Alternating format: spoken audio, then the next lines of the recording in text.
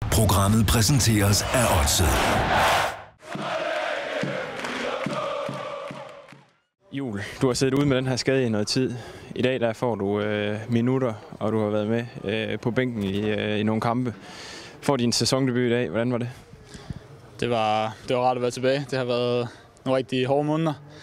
Øh, ja, nu var det som, øh, som højre kant i dag, og ja, det tror jeg ikke, man skal lægge så meget i. Det var egentlig bare ind og hjælpe holdet, og øh, ja, det er dejligt at være tilbage.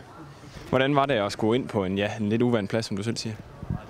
Det var, ja, det var nok ikke en plads, jeg skal spille øh, på længere sigt, men øh, som fodboldspiller, så skal man kunne, øh, ja, kunne spille de fleste pladser, og i hvert fald stå den, og det var det, vi skulle gøre, fordi øh, selvfølgelig fik jeg at vide, at jeg skulle ind og prøve lidt, men, men jeg kunne godt mærke, at temperaturen i kampen var, at vi ikke skulle satse alt for meget. Øh, få et øh, point med, øh, det må vi tage med, og øh, ja, det var, det var sjovt nok at prøve. Du siger selv, at det har været hårdt at sidde ude. Prøv at sætte nogle ord på, hvilke tanker, der har strøget igennem en fodboldspiller, sådan, når man sidder ude.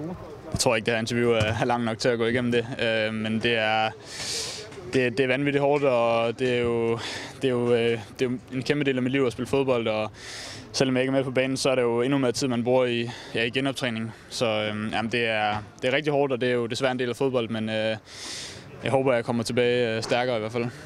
Og set på kampen i dag som forsvarsspiller, så må det også være dejligt at kunne se holdet klar clean sheet i dag.